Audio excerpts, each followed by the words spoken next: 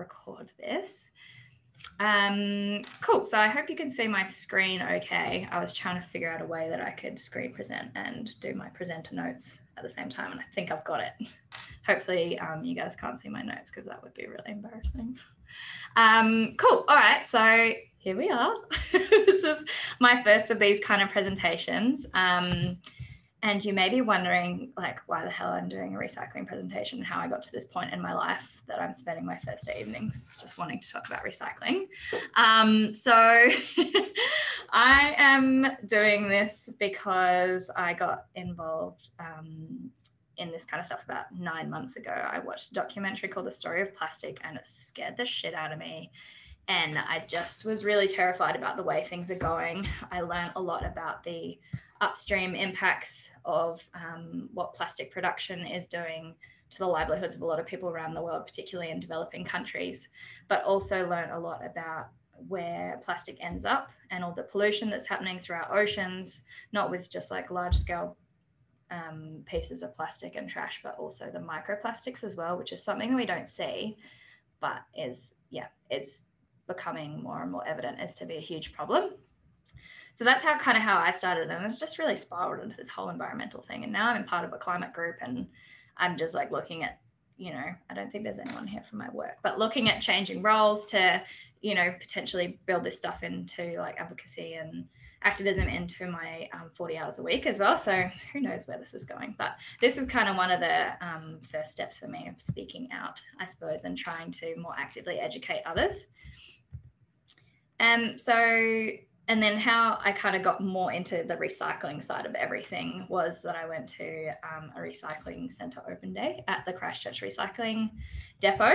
Um, that's me just having the friggin' time of my life learning. um, but it was a really interesting visit for me. I got to talk to people from all aspects of the recycling process at this plant and learn a lot more about what happens to plastics after we chuck it in that well, in Christchurch, it's a yellow bin. I think in Australia, it's a yellow bin. Uh, yeah, whatever, what happens after we chuck it in the bin. So another reason I wanted to do this webinar is with all the things I've learned, like recycling is just bloody confusing. Like you can do this, but you can't do that. And that number's okay, but that's not. If you're in Christchurch, you do this. If you're in Auckland, then you do this. Who bloody knows what happens in Australia? Like, I don't know. So the rules are really different depending on where you are. It doesn't help that they change all the flipping time. So I think it's really reasonable that people are confused, and I don't really blame anyone for not having a really clear view of the time. But I suppose what I'm going to do tonight is focus on the things that I know from the Christchurch City Council, but hopefully some stuff will be able to be transferable through to you guys. So I just also want to start with a disclaimer of I'm not perfect. I'm definitely not any kind of recycling um, goddess. Like I just don't I'm not 100% sure of everything. So I'm not perfect. I've got a pretty good clue. But if there's anyone on the call who's like, that's not right, just tell me maybe in private or something so I don't get too embarrassed. um, but because I do need to learn as well. I don't know everything, but I'm just trying to put progress over perfection and just chip away at things a little bit at a time. Uh, so tonight I'm going to be going through, yeah, first I thought I'd kick off by actually explaining a bit more about what the recycling process is, um, how things are treated, the different aspects of the process that you go through. Um, then doing a quick one about how to recycle uh, correctly, keeping in mind that I am in Christchurch and different places, wherever you guys are, wherever your council is, is going to be different. Even within Melbourne, if you're in Boroondara, it treats it differently to I don't know what another council is, Stonnington. Um, and then jumping into why recycling is important and then why I think there's some better solutions out there to just recycling. And then lastly, we'll do some question time. So again, I just wanted to highlight again that this is largely Christchurch based. Um, so if I say you can only recycle this code and this code, it's not necessarily the case for your council because yeah, I'm over here in tiny little Christchurch um, on the map there. Okay, so hopefully so far so good. Um, so bear with me, I'm going to go through what happens to your trash after you put it in the recycling bin, what like what processes it goes through before it gets spat out the other end. So I think a lot of people think they can, when they're used, they're finished with a product, they can just throw it away. And I really want to enforce that there is no way, There's no like little fairy that takes away the, the rubbish and it's just like poof gone. Like, and I want to just drill home that we all have a responsibility to know where things are going, how it's being treated, how it got there in the first place, and anybody who could be, um, I guess, implicated is not the right word, impacted along that journey. So I've kind of broken uh, everything down into a couple of steps. So I think I've done six phases in the end. So phase one is from when you put your bin out on the curb, uh, on the nature strip or the verge, depending on wherever you're living, and uh, the bin man comes and picks it up. That's transported back to the depot, wherever the recycling centre is within your council. So for Christchurch, I learned that uh, that all goes back to just the one depot. So I think there's a couple of Christchurch, so Shay and Shara, if you come back to Christchurch, um, that is the one out. Uh, where is it? Is it? It's in Wigram, I think, somewhere around there. And uh, yeah, so I live in Sumner, which for the others is about maybe 25 minutes, half or an hour away from there.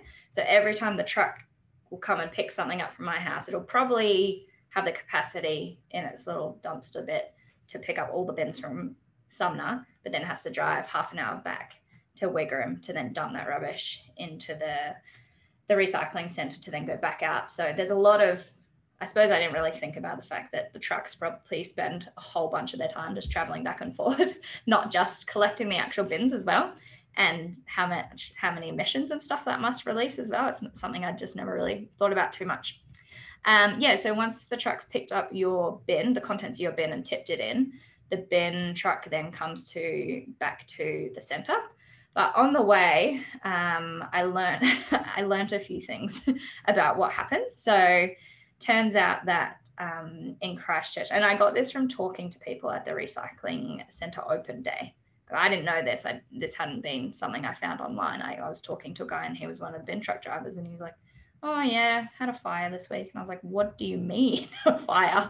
And he said that yeah between four and five bin trucks catch on fire every year in christchurch alone. And christchurch is a pretty small place. Um, there's only like 400000 people here. So if you imagine something the scale of melbourne where there's 5 million people timesing the amount of bin trucks there by maths like over 10 you're probably going to have 10 times the amount of bin truck fires if people are on the same level of contaminating stuff.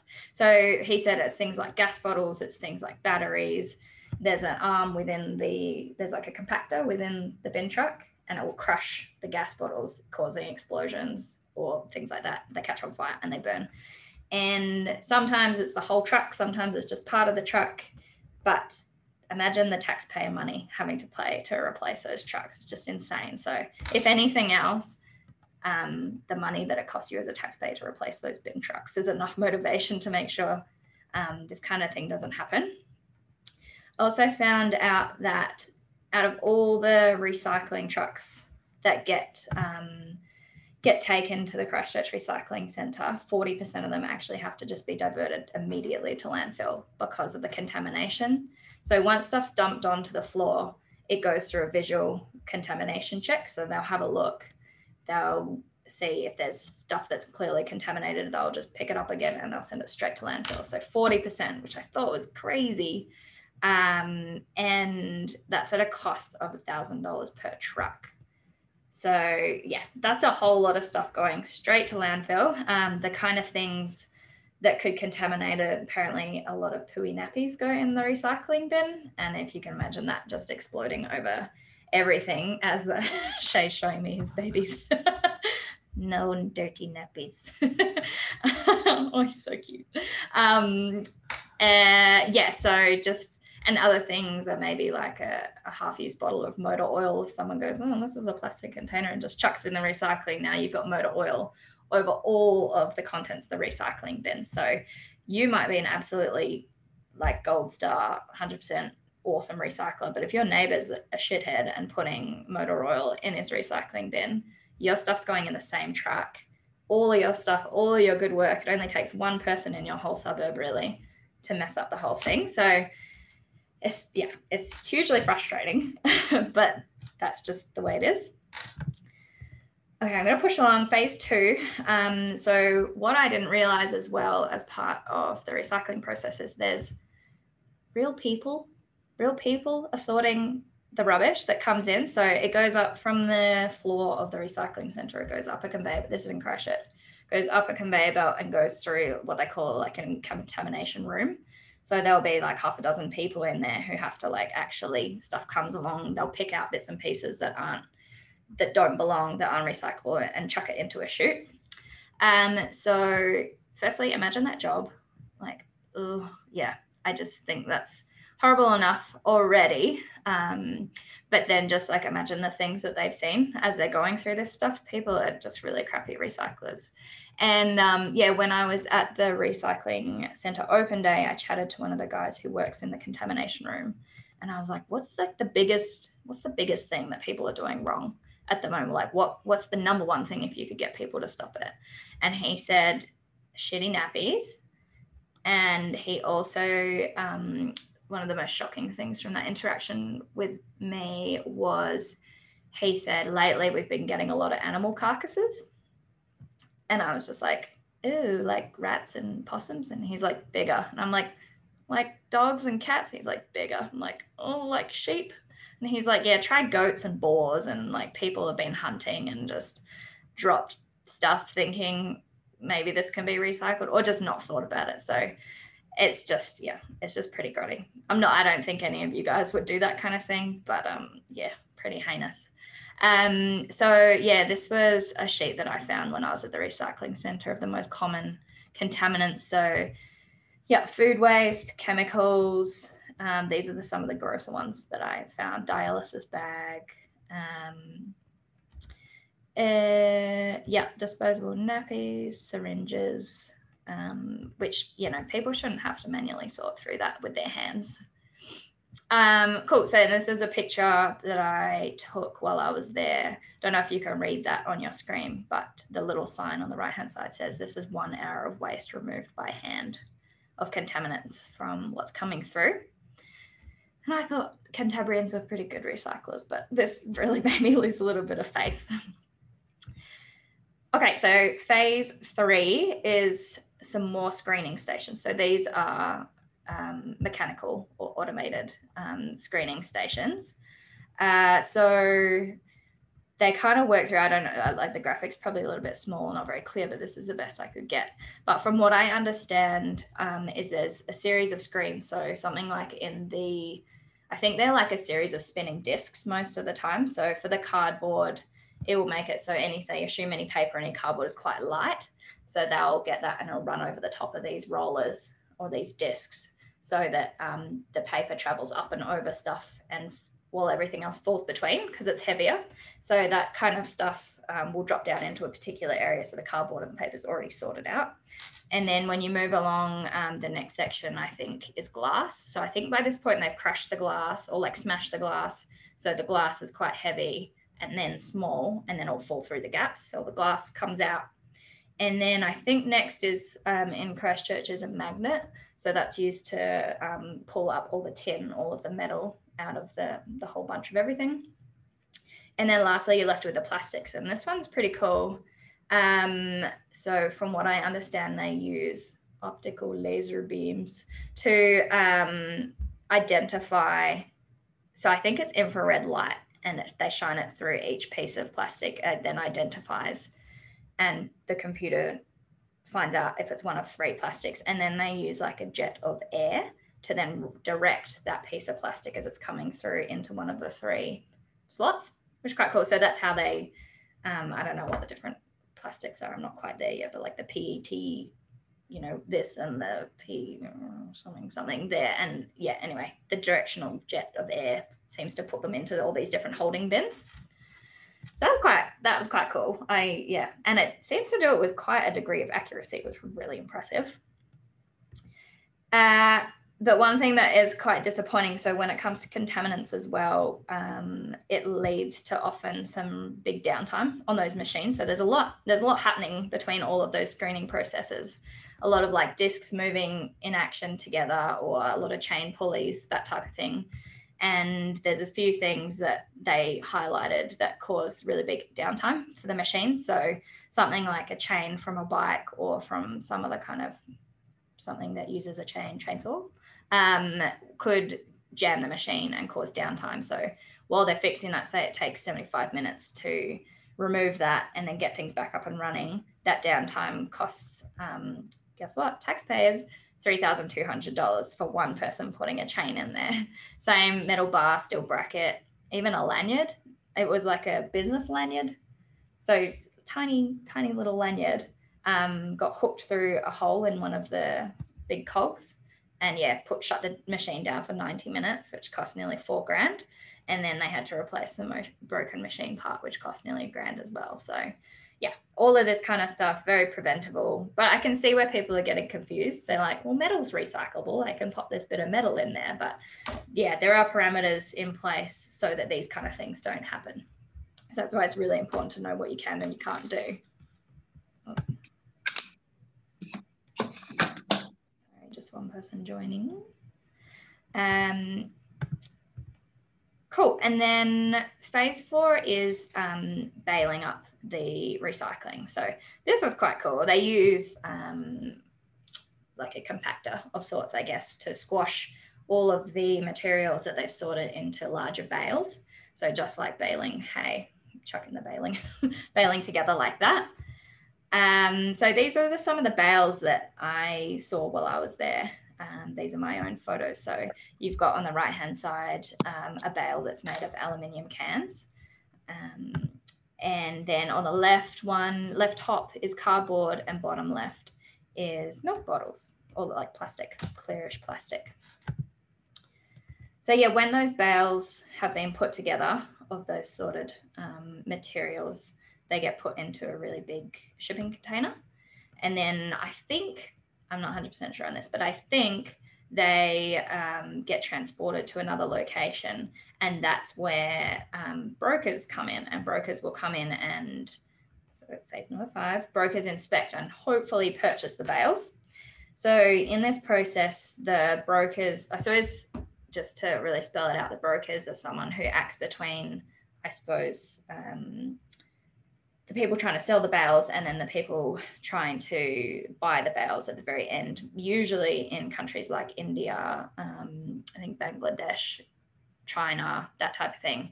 Uh, so these brokers are representatives in New Zealand who um, inspect the bales um, because they are essentially, once they're turned into these bales, they're sold as commodities in an open market. So the brokers will come in and, and pitch a price so, from what I understand, Christchurch actually retains the glass. Um, glass, obviously, a little bit harder to bale. um, so, Christchurch retains the glass and processes it here. But from what I understand, most other things are actually um, purchased and sent offshore. So, when a baler is inspecting this product, they'll often open them up, like you can see in that photo, and have a look through. What they're looking for is contaminants. Um, so if you have food waste through there, if you have um, maybe some plastic in the paper section or vice versa, those make them a lot less desirable for somebody purchasing the bales. Um, obviously, it's going to become their problem to then remove the contaminants. So it's easier for them to just say, yeah, nah, thanks, nah. Um, so this is where things like the problem, do you guys remember that a little while ago there was this big hoo-ha and everyone was like, oh, bloody China not taking out rubbish. That's our fault. That's not their fault. this, this recycling this rubbish is our problem. It's not their problem. And the reason that they refused buying our trash in the end was because the level of contaminant became too high for them to make it worthwhile for them to sell. And also the supply of trash these days well outstrips the demand for it there's only so much they can do with it and we're just simply churning through stuff way quicker than i think that we should be. Um yeah so anything that's considered too low grade by a broker or by a recycler like if it's really bad um, the whole bale ends up going to landfill. So not only do we have landfill uh, stuff being diverted to landfill right at the very start of the process. But yeah, it's even at the baling process, there's still things that are deemed to be too contaminated to be sold. Um, and yeah, they go to landfill, which is a real, a real shame. um, I feel like I was going to say one more thing on baling. Oh, it's gone. Uh, cool. So phase six is I didn't I couldn't think of a clever word, so I've gone with remanufacturing. Um, so this is where um, so this is just an example I've used in plastic, but what happens is the bottles will be, oh, I remember what I was going to say, back up. So there's some types of plastic, for example, that are more desirable to brokers. So something what I recently learned is clear plastic. So like clear milk bottles or like a clear water bottle, like a pump bottle, is much more desirable to them than something that's already been dyed and colored.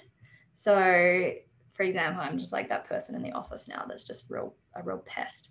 Um, but I recently then asked our um, kind of office manager if she could please start buying clear plastic milk bottles instead of buying ones that are dyed white because to a yeah to a broker or to someone buying these recycled bundles buying one that's got clear plastic um, is much provides a lot more flexibility for them.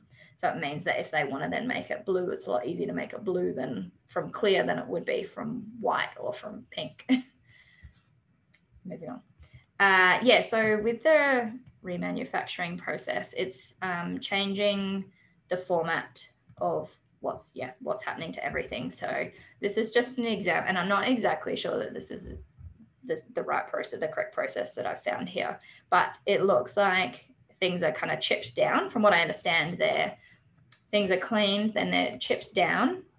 They're sometimes turned into like stringy fibers if the plastic's then being put into stuff like clothing like polyester.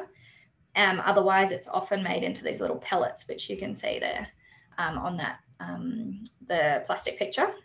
And then those things can then be so these are this process usually happens offshore, but then those pellets can be sold back to somewhere like Australia or somewhere like New Zealand, so that when Coke's making their new bottles, they can just melt down from the pellets.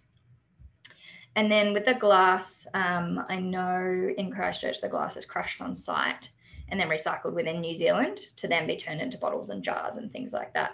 Or otherwise, if it's um, too colorful, they can use it as what they call like glasscrete. So it's like a concrete but made out of glass, or they can use it for building roads or filling filling certain things like roads. Um, yeah, so that's kind of the phase one to six of the process of everything. Um, but I do want to now move on to and well, I kind of wanted to go through that first because I feel like the next step of the thing I wanted to talk about was how to recycle co- correctly. And it makes a whole lot more sense why you can't throw out bottle caps when you understand how the machines actually work and actually process the recycling. So yeah, I want to go through a few of the do's and don'ts, but again, just a reminder um, that this is Christchurch edition. So I'll try and keep it simple. Um, or and for anyone in Christchurch as well, I have created like a, a cheat sheet um, that you can I'll supply after this, and you can print it and put it, I don't know, wherever you want in your kitchen. I've done one for work, and I've got it printed on the inside of the cupboard doors here. So if anyone needs a reminder about what recycling codes we use in Christchurch, they can just have a look and it's there at the point where they're actually figuring out what to do with their trash. So yeah, the first thing I wanted to highlight was that this symbol doesn't necessarily mean the thing is recyclable. Um, I thought that for quite a while and uh, yeah, it's a bit deceptive there A little bit of greenwashing um, because there's all different types of recycling codes. You'll know from the bottom that will have that symbol with like a one, two, three, four, five, six, seven on the inside. Um, so yeah, you just do have to pay attention and and just be savvy to that. Uh, okay, so these are just a few quick tips, and I'm not going to dwell on this section too long because yeah, it does differ from place to place. Um, but yeah, so the first one, ensure your recycling is clean and free from food waste. So that applies in Christchurch. So over here, we don't have water or such strict water restrictions as, as Australia. So they do encourage you to rinse milk bottles, rinse Coke bottles, that kind of thing with just a quick swish. It doesn't have to be perfectly scrubbed clean, quick swish just to get out any of that food contaminants. Um, same when it comes to something like a pizza box. If you've got oil from your pizza on the pizza box you can't you can no longer recycle that you can compost it, um, but it's not clean paper. And so then when that goes through the recycling process, that contamination is going to spoil a whole lot of other stuff. So yeah, just making sure everything's clean before it goes in. Um, a lot of the things that go through, I learned at the recycling center, people will put them in bags. So if they've had a party and people have done a good job of keeping their cans and their bottles and everything separated from the trash from the party, they'll put it in like a big garbage bag and then chuck it in the recycling bin. And that actually all gets pulled out in the contamination room and goes to landfill because they don't have time to be opening up those bags in this process of processing a whole city's worth of rubbish or recycling. Um, so make sure everything's loose and not in a bag.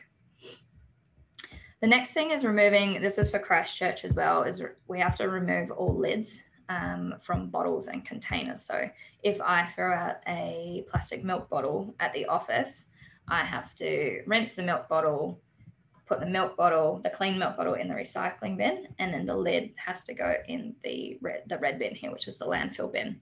And the reason for that is you can imagine when things are going through those um, screening processes and they're relying on all these discs and cogs and things like that. Something small like a bottle cap when they're trying to get to sort um, something, it falls through the cracks and it will then end up contaminating um, other different types of recyclable materials that have already been sorted. So in Christchurch, no bottle lids um, and no caps, no jar lids. All of that has to go straight into landfill.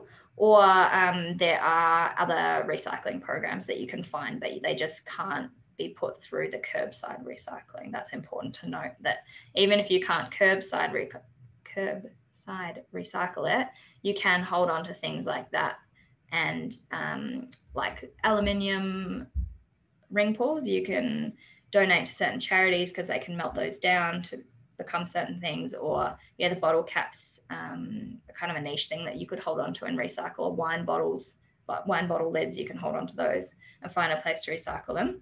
Um, I don't have probably enough time tonight to go into the kind of things that they get turned into or where you can donate. I know a place in Christchurch, so if you're interested to know, I can let you know um, after this about where you can do it there. But otherwise, um, might have to do your own Googling or chat to the council.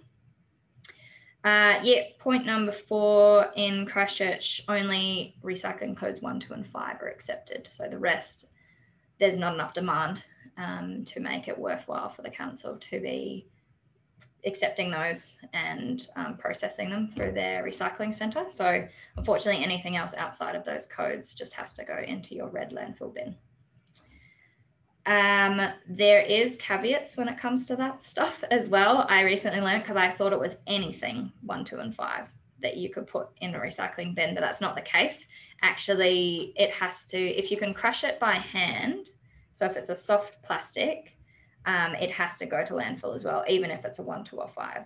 And the reason for that is when it's going through the, the discs of the screening process, if it can accidentally, if it can be crushed and squeezed through one of those moving discs, then it's going to risk ending up in the wrong sorting pile. So anything that's soft um, or that you can crush with your hand, even if it's one, two, or five, has to go in the landfill. Um, exciting news for some Cantabrians as well is that they've just brought back soft plastic recycling in some regions here. Um, I think all my Melbourne friends and my mum especially was always really shocked to hear that we couldn't do soft plastic recycling over here. Um, and it was taken away for a while because they just didn't, they couldn't deal with it under the New Zealand infrastructure, too small a country. But they've just brought it back. I don't, I don't know too much about it, but um, I was quite excited by that. Um, another one is horrible hybrids. So that's that's kind of the um, I suppose industry name for them, and that's things that have multiple layers to them. They can't be recycled. So these are things like Tetra Paks. Um, so a Tetra Pak, what I mean by that is like if you get a remember those juice poppers you used to get at school, um, or uh, maybe where you buy long life milk in or your soy milk or something. So those um, square containers, while they seem like they're cardboard, they're actually inside they're like plastic, then foil, then cardboard, then plastic. So they're not actually be able to be recycled because of um, all the components. Uh, so they have to go to landfill. Um, sorry, when I say go to landfill, I mean they can't be recycled um, in curbside recycling. There might be, I just haven't looked into it. All I know is they can't go in recycling. So unless you're going to go to a niche recycler or you're going to hold on to them or reuse them or do something, they have to go to landfill. So that's what I mean by that. Um, already touched on this kind of already, but small items can't be recycled in Christchurch either. So lids, um, I didn't know this, but anything smaller than an envelope when it comes to paper can't be recycled.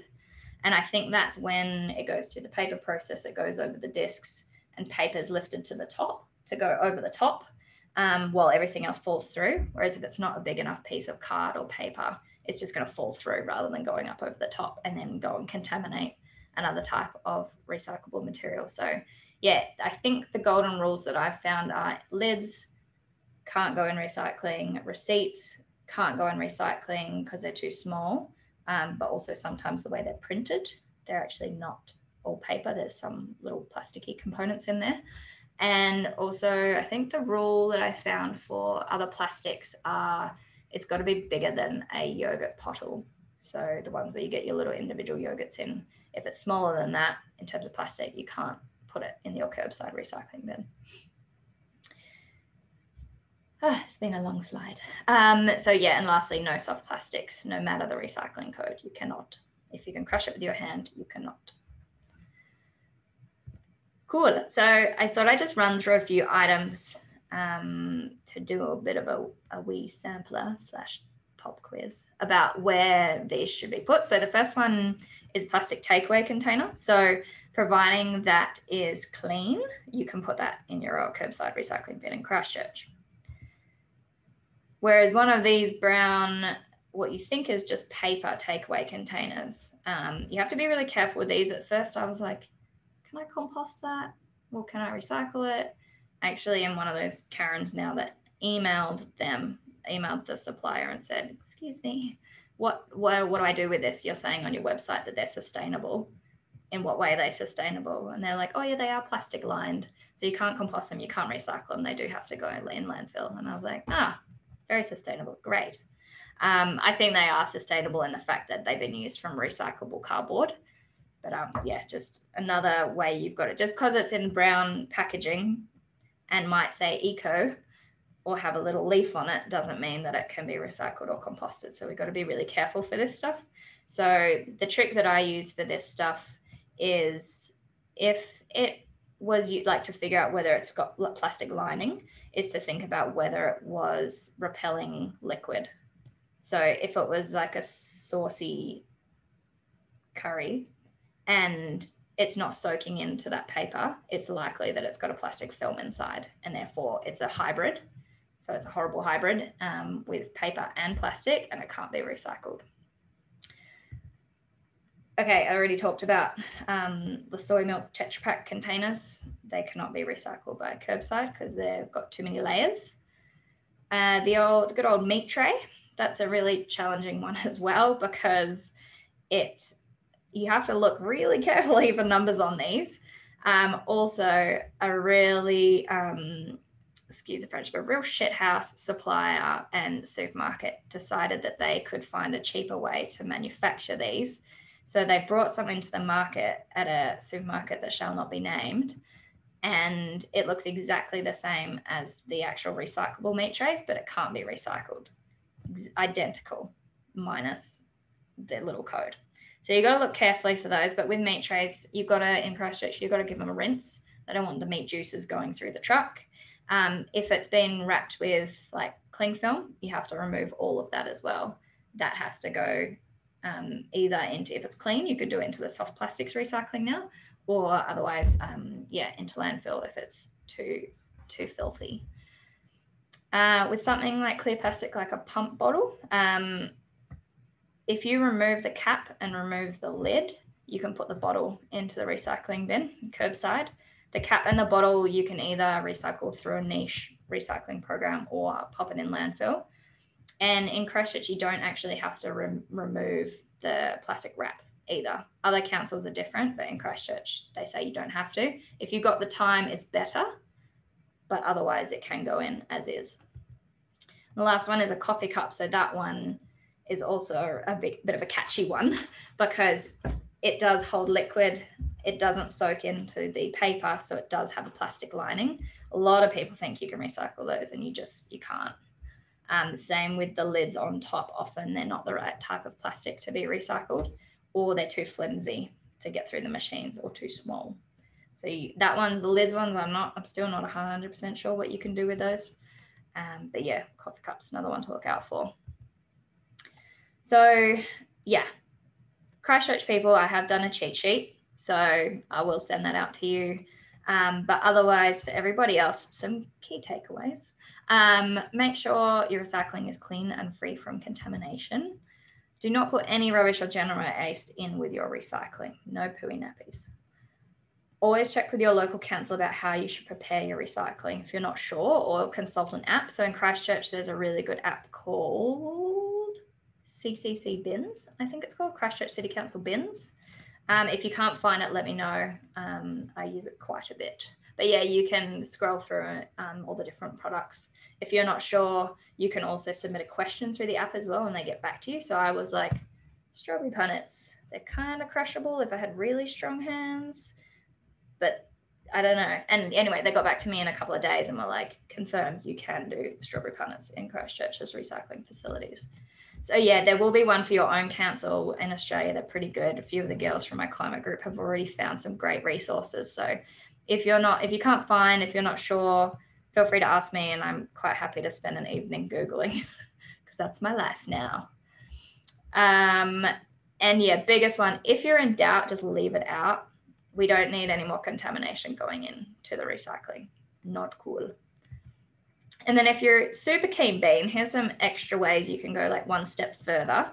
Um, the open day at Christchurch was just pretty eye opening for me. So I would really encourage you to go to an open day in your local council area if you get the opportunity. So I think I found out about that because I was following the Christchurch City Council Facebook page and they posted it as a Facebook event. So perhaps that's something you want to do. Um, or otherwise, you could probably email them. I suspect they're quite frequent actually, maybe in a non COVID world. But um, talk about recycling. I know that sounds really lame, but it's, yeah, the more we talk about it, the more people are going to be re educated. I feel like a little bit of a pest in the office sometimes, being like, oh, hey, can we get the clear milk bottles, not the, the white ones, and explaining why. Or, you know, I saw that people were popping the milk bottles in with the lids on, and I had to see, you know, I sent one of those memos, hey, everyone, smiley face. But um, yeah, we gotta we gotta do it, have those hard conversations, and find ways not to be total pests while doing it. Um, another great tip that I got last night from my climate gals was to ask your council what they're up to. What are they doing to stop contamination happening in your local area or in their district? Um, how are they educating the community about correct recycling practices? And what are the barriers they're facing? That was a really interesting one that I asked the recycling day. Uh, that yeah, some stuff came out of there. Like, didn't think that goat carcasses would be a problem, but there you go. The things you learn when you ask. Um, and then I lastly on this section, I wanted to have a humble brag about Christchurch's efforts. I think they do a really good job of trying to educate people. Of course, it will never be enough because there's always going to be loonies out there who are doing the wrong thing. Um, but yeah, they have recently started doing, uh, well, I don't know if it's recent actually. I've only just learned about it. um, they do audits of the bins every now and then in different councils and, uh, or different areas, sorry. And if you've been good, they give you a thanks for been great sticker, which I think is really cool. And then anyone who's not doing the right thing, they'll put like a red tag on there and give them a couple of opportunities to remedy the issues. Uh, and then after that, they confiscate their bin. and you have to pay to get back. So I feel like that's good. and they do letterbox drops as well of like, have you been good? And yeah, a list of everything. Also, a lot of the bins have stickers on the inside saying what you can and what you can't. They're not super comprehensive, but it's a good start as well. And I love that Christchurch is also um, they use their actual bin trucks for advertising as well. So about recyc- uh, downloading the Wheelie Bin app or um, yeah, they did one because I think they must have got a lot of pizza boxes, like contaminated pizza boxes, and they did one saying pizza box, like red bin, and just visually spelled it out. It's quite a good advertising space. Okay, so I'm going to push on and I just wanted to talk about the fact that recycling isn't the be all and end all um, to pollution solutions and uh, the rest. So before I push into that, I just wanted to drive home. This is one of the biggest things I learned from watching that documentary called The Story of Plastic was when you're throwing something out, you're not actually just throwing out the product itself. So an example I gave to my gals was, um, sorry, my climate gals was, for example, like take a banana. I know that's moving out of the recycling space, but take a banana and it's got a bit mushy. Maybe you left it in your bag and it's got a bit brown, it got a bit squishy. No one really likes a squishy banana. But there's other uses for that banana. You can make banana bread, you can chuck it in the smoothie, can still be happy days. Because if you throw that out, you're throwing out all of the resources that went into creating that banana. So for a lot of the bananas here, they're actually um, they're grown and farmed in, I think, I might get it wrong. Story country starting with E. I'm pretty sure it's Ecuador. No, that's not right. Anyway, South America somewhere. And so that banana has to be grown. It, you have to put, probably put fertilizer on the plants. Uh, on the on the crops, you would have to use pesticides. Uh, yeah, there's a lot of water that goes into treating uh, to growing them. Then some poor, probably underpaid, underprivileged farmer has to pick the banana. It's got to be then probably washed.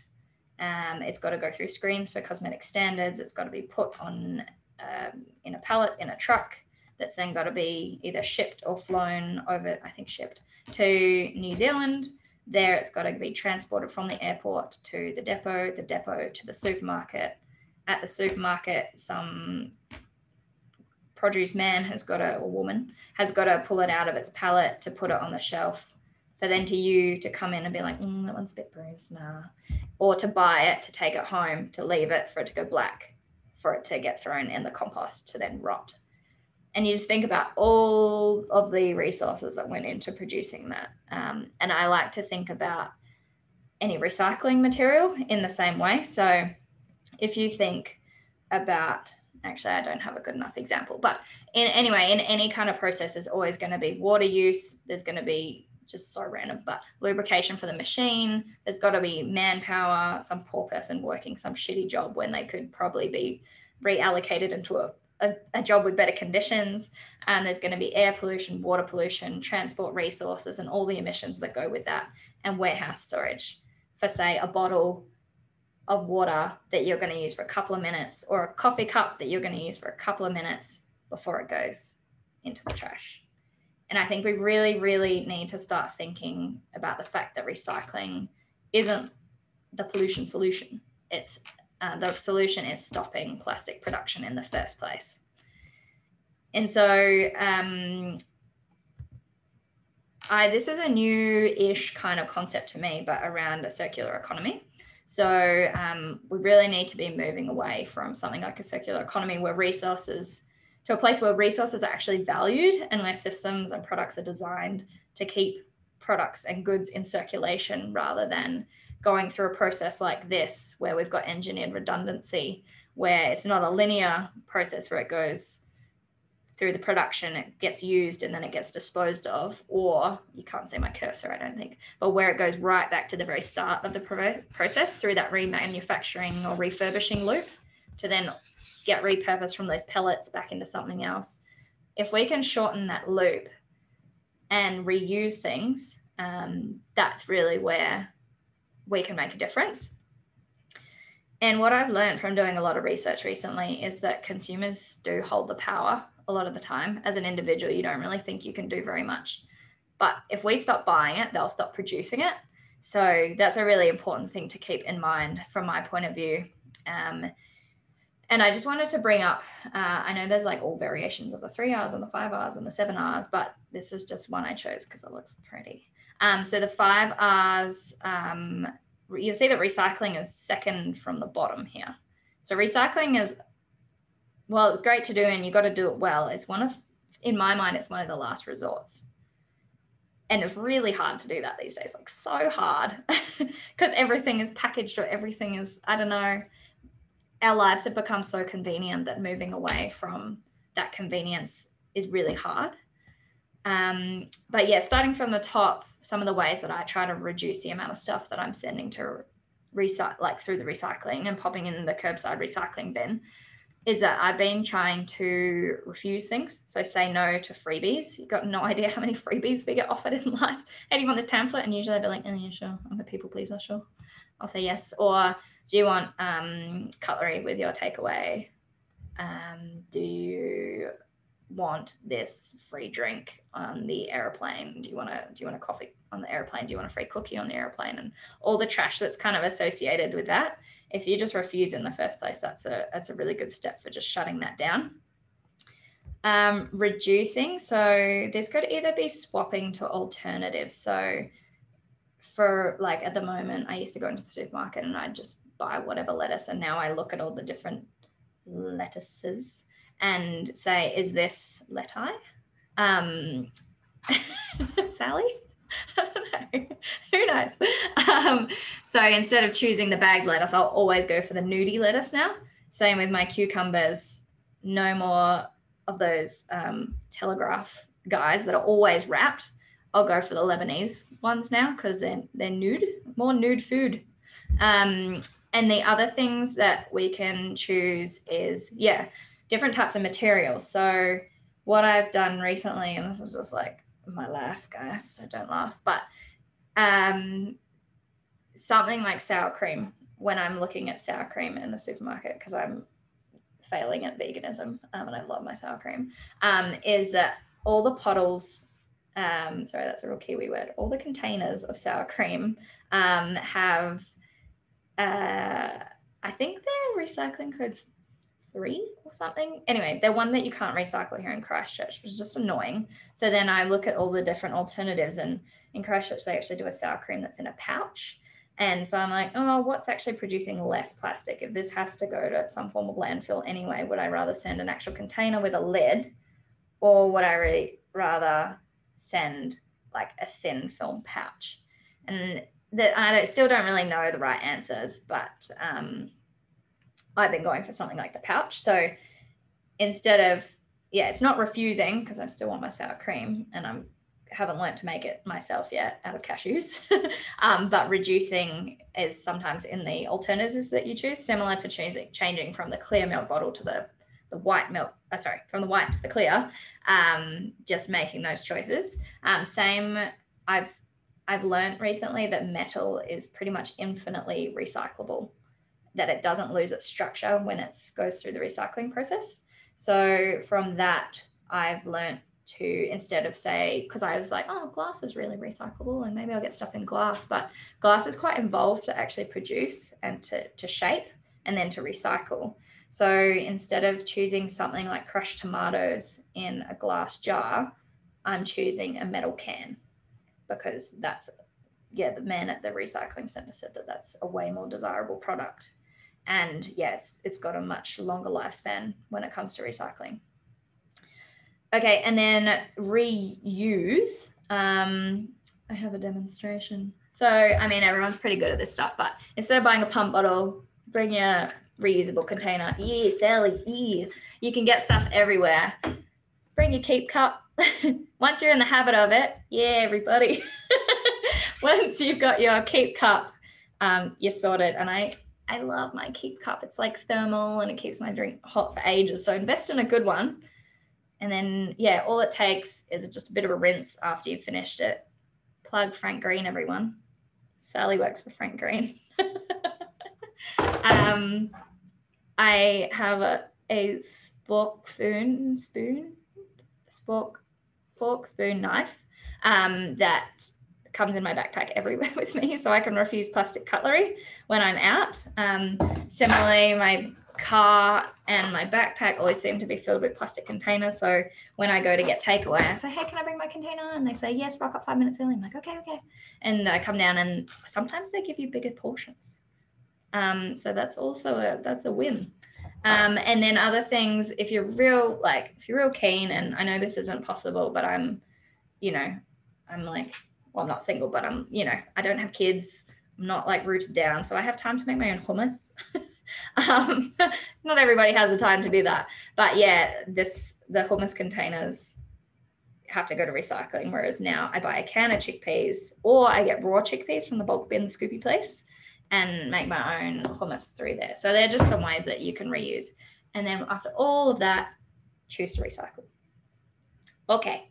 But be easy on yourself. Go easy. It's it's tough out there, guys. And you can't do everything at once. Like it is challenging. Um, so I'm just aiming to choose like one different thing at a time. So going into the supermarket and trying to rethink your whole shop is really daunting. But you know, I'll just go in and I'll be like, sour cream, oh, sour cream, and like think about it for an extra 30 seconds, make a better choice. And now when I go to the supermarket, I know exactly which sour cream I'm getting.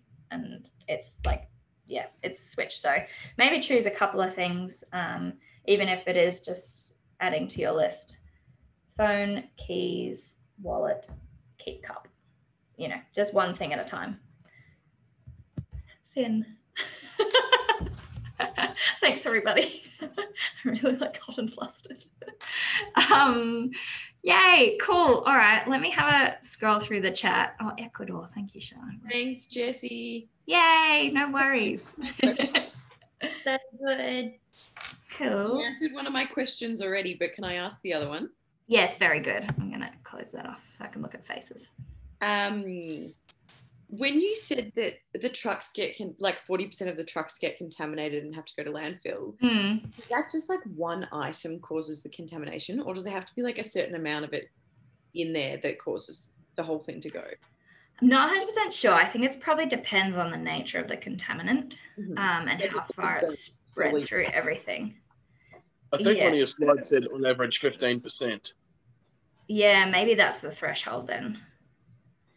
I feel like it should be lower than that. I know that when it comes to actually baling up the recycling, that when a broker comes to look at those, they won't accept anything more than 1% um, contamination. right But I think with the trucks, I imagine because it just all gets tipped onto the floor, they probably just go like, "Hmm, and have a look. And then it goes through. And probably if there's something obvious like poop or um, yeah, motor oil or something like that, that, oh, hello, poop machine. You'll be pleased to know he's wearing no nappy at all right now. oh, great. Good man. um, yeah, so Elle, I don't know exactly, but um, yeah, as low as possible, hopefully. Yeah, yeah, call the council. Um, let me see if what other questions.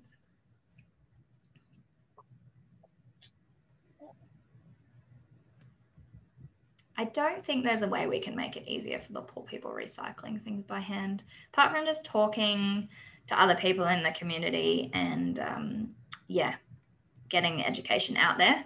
So yeah, the best way I've found of doing that so far is just talking, telling people what you can do and what you can't do, and maybe chatting to the council to see what they think you could do as well. But um, yeah, just put your carcasses elsewhere. Um, feel free to jump in with any verbal questions. I'm just reading through the chat. And yes, Zhej, I totally agree that there needs to be absolutely more regulation around the use of the words eco, biodegradable, de- degradable, compostable.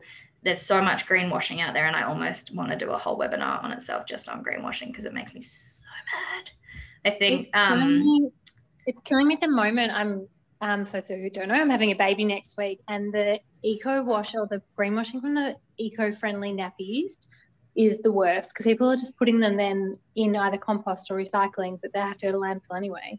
mm, It's like, it's so misleading. Thank you. Yeah. But my Yeah. hate.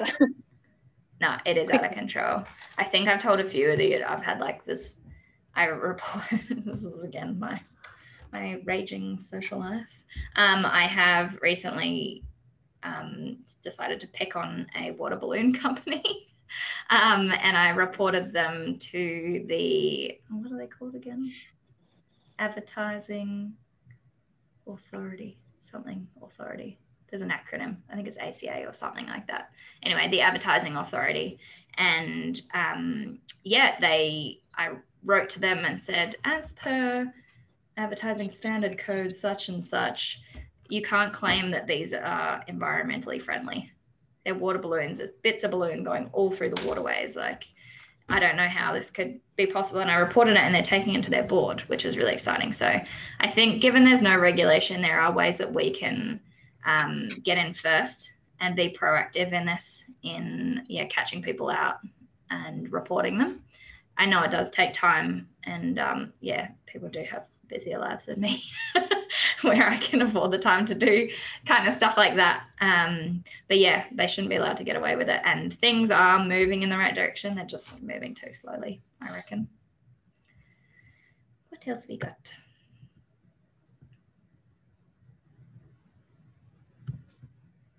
yeah, just the reason uh, the um, the ads here can be pretty creative. I love that they can. It's like Kiwis just don't take themselves too seriously, and there's a lot of quirk thrown into those ads. Um, and New Zealand should totally take it on, but they need to fix themselves first. I don't think they're in a position to um, be talking about social environmental responsibility with some of the stuff that goes on. But at the same time, they're a really reputable brand, and if they want to get involved, I probably wouldn't say no either. Um, cool. Does anyone have any other questions? Um, I'm kind of, if nothing's popping to mind now, I am available and love um, talking trash whenever. So um, yeah, absolutely encourage you to message me any questions if you want. But if there's nothing else. Very informative. City of Brook. City. Yes, hello, you and Lawn. The lady in the front with the blue jacket. Oh, in the cold, in the rain, camping. Um, yeah. City of Boroondara have got a really good website, um, and they'll have a guest speaker come out anytime to speak to you about their recycling. Um, they've got an A to Z of recycling and waste um, mm. and they really put you in touch with you know, things like where do you recycle plastic bottles, you know, that um, would normally go into your recycle bin, razor blades, just a whole range of stuff. So, um, but they're really good in sending people out. I've had them come and talk to our group and answer all sorts of questions. But their focus, again, like your five R's, is about instead of uh, refuse, they have avoid. Um, so mm. Wayne was just saying it's like ah because it's, um, but there's got all the same things. mm. So um, yeah, but they'll come out and they'll talk to any group about what you can do. So and and obviously listening to what there's different things that you can and can't do from mm. New Zealand and and Australia. So it's I think it's really good to get it from a local council perspective of what you can put in your bins and what you can't but mm. also what recycling facilities are available across Melbourne for those of you who are in Melbourne, because there's so much stuff. And we've got a repair cafe. So any electricals, you can go and learn how to repair it. There's one mm. in Balwyn. Um, so if your toaster's broken, you can go over there and get a lesson how to fix your toaster rather than throw it out. So mm. I think that's a really good concept as well. So yeah, I think um, with that stuff like repairing things is is a really great thing to focus on. Um, but I'm finding it's you know it's so much easier to go and get an, another thirty dollar toaster from the warehouse or from Kmart, and mm. prices of things are just making it. It's like time versus money, and mm. like most people will be like, I don't have time to go down to Balwyn to wait for the man to fix my toaster to then pick up my toaster again. I'll just buy one for thirty dollars, fifty dollars. So oh, yeah, yeah, it is a really big attitude change. Yeah, all that. Um, but one thing that I kind of switched my thinking recently that, um, you know, when I'm always like, no, I don't have time to go to the place where I drop my bottle lids off, that specific place, or I don't have time to do this. Whereas I, I started kind of thinking about it as instead of thinking you don't have time for it, um, or that things take so much time, that once upon a time or like in the old days this is how things worked you didn't just go out and get something new you you repaired it or with your milk bottles you left your milk bottle out for someone to come and collect and then to refill again and this isn't some like new way of living like this is going back to a really old way of living of just conserving and repairing um, and reusing and doing hand me downs and all the rest so mm. big attitude changes that um, need to happen so yeah Okay. Plug for Recycle Smart app in Melbourne. You can put in your yeah. Address and it automatically tells you. Ah. Cheers, and- Shay. It's so good. Catch you soon. Yeah. You can look up things. So you can click into like glass. This you can't see it, but it tells you like all the different kinds of glass. And if it says no, What's you it- can't. It's called Recycle Smart. And Jesse, it'll are you are you setting something up that we can share this sort of stuff? Like if we come across a website that we can actually pop it on for people to check out. Well, Then- we'll add it to the climates list of things to tackle. Okay. Because look, Sal- Sally, can you please take minutes? Woolworth, Woolworths is doing Loop um, and uh, TerraCycle. So Hmm, looks like they're picking that up. Mhm. cool. Okay, I'll, I think it'd be good to put stuff on. It'd be great. We'll work on it. You'll be the first to know. Do Cool. you take all right. over 60s? Well, you could be a celebrity speaker, maybe. Every second Wednesday. um, cool. All right. Three minutes overtime. I'm quite hungry. Don't know about you guys. um, I'm going to leave it there, but thank you, nearest and dearest, for coming to join me. Um, I hope it was informative and not too rambly, not too confusing. I will be asking for feedback, please, honest feedback. Um, uh, but yeah, let's let's do this thing. but yeah, thanks for your time, and I'm gonna save the recording. So if you have anybody who you think might want to see it, I'll be sending a link around in the next little while. And yeah, if you have any questions, just um, Okay. let me know. Cool. Easy. Thanks, Jessie. Well done. Have a great Bye, evening. Russell family. Thanks, Jessie. Good to see you, gorgeous girls. See you guys. Bye. Russell. Fern. See ya. Bye, Donzi. Bye, guys.